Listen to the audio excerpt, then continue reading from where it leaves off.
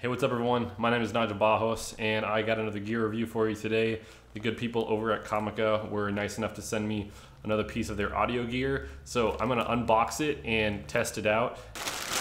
This is packaged pretty well. I'm actually pretty excited about this. All right. So we have the Comica CVM WS50. Now this is actually a wireless microphone system that you can use with your phone. So yeah, let's open this thing and see what comes inside. As expected, every Comica product that I've basically ever had comes with a really nice carrying case. All right, so let's open this thing. All right, you get some user manuals, which I'll probably never read.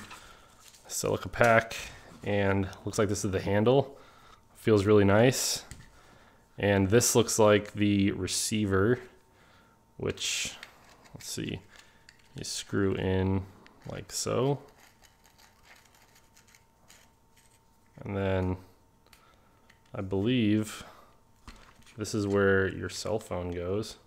Oh, that's cool. It raises up like this. I'm gonna get my iPhone out and we'll see if it can hold my iPhone 6S Plus. Wow, that's really solid. Uh, definitely good quality. So the receiver and the handle and everything, this is all made out of metal, which is really cool. Feels really nice in the hand. And then, uh, so yeah, that's that. And then we get the transmitter which this is made out of plastic, but feels pretty solid. Um, as always, Comica always provides the adapter cables. So this one will go into your phone. This is the TRRS. And then plug that into the output. And then Comica always gives you a nice little fur windscreen for their lav mics. And yeah, they included their, pretty sure this is just their basic lav mic, which they include in all the other uh, wireless uh, systems that I've used, but they're definitely pretty decent. And I like that Comica includes the mics with their system. So yeah, again, just like the WM300 system, the transmitter and the receiver are both have internal batteries. So so you charge them by uh, plugging them into a wall cube uh, with their USB, and that's kind of cool. It's unfortunate when you're on the field and the battery dies and you have to find a place to charge it, but it's cool that they have internal batteries. You don't gotta keep buying double A's or anything like that. But so yeah, this is all that you get in the package. You get the transmitter, receiver, and cell phone clamp, as well as the handle, a charging cable, and then the mic, of course, and the fur windscreen for the mic, as well as the user manual. So let's take this out into the field and see how this Comica WS50 performs. All right, so this part of the test, I would definitely recommend wearing headphones. I am using my iPhone 6s Plus with the Comica WS50 and the included lav mic.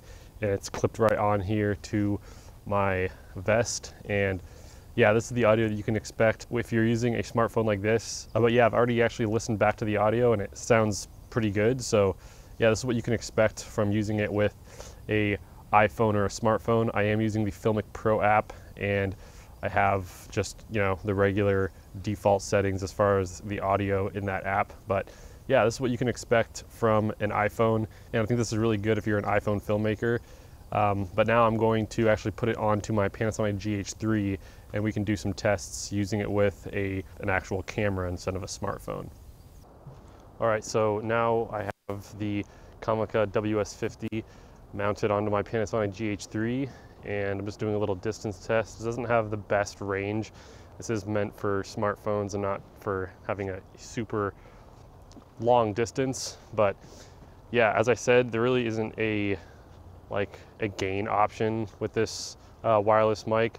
There is a volume on the receiver that you can control, but there's no like limiter or anything fancy. Uh, so you're just gonna have to like plug and play and just kind of gauge how far away your mic should be from your face. But other than that, it's a pretty solid little unit and it does work with, you know, cameras like the Panasonic GH3 and any other cameras with a mic jack. All right, so I'm back in my apartment now, and after going over the footage, I did notice that when the Comica WS50 was, you know, out a little bit too far, you're going to experience some problems in the audio feed. So that's one thing that you should, you know, keep in mind. Another thing that I wish I would have noticed earlier on is that I really should have had my phone on airplane mode when I was filming with it because when you get calls or texts, it does create some problems in the audio. And that doesn't just apply to smartphones, although it's much more important when you're filming with a smartphone to make sure that you have your phone in airplane mode. But if you're using, you know, any other kind of camera with a wireless system, just with wireless systems in general, it's, you know, better to have your phone in airplane mode just so it doesn't cause any weird, you know, ticks and buzzing in the audio. So that's just one thing to keep in mind. Other than that, I think that this performed really well. It worked out really well with my iPhone as well as my uh, Panasonic GH3. If you want to use it with a camera that is not a smartphone, all you really need is just something like this. This is a male cold shoe adapter. And this will just screw into the bottom of the WS50 and then you can just put it right onto the hot shoe of your camera. And then you just need a simple uh, male to male audio cable. The one that comes with the WS50 is a a TRRS audio cable, which is you know designed for smartphones. So you'll need one like this if you want to use it with a camera other than a smartphone. So the only other cons besides the fact that this doesn't have the best you know working distance, I really wish that this little unit had a headphone jack, just because when I'm filming, it would be really nice to just, you know, be able to, you know, hear if I'm getting any interruptions in my audio or, you know, some buzzing or hissing or anything like that. Uh, apps like Filmic Pro will let you see audio meters, but you're really not going to be able to notice if there's any like you know hissing or you know like weird electronic noise unless you actually listen to it. So a really easy way around that is just to get a stereo headphone splitter like this, and then you can plug some headphones into one end, and then just plug the WS50's cable into the other end, and then plug this into the WS50, and then the other end will go into your phone, obviously.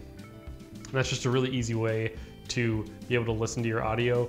Although you probably need a headphone amplifier if you're gonna use it like this because the signal that comes out of the WS50 is just a mic level signal. So it's not really gonna be loud enough for you to actually hear very well. So yeah, if you wanted to go this route, it's a you know pretty simple route to go if you just wanna like listen to your audio while you're recording it. But you definitely need a headphone amplifier for the headphone end if you want to be able to actually hear what you're recording. Another thing you can do to get a little better quality out of this thing is just to get a different lav mic, uh, maybe like a stereo one from Aspen.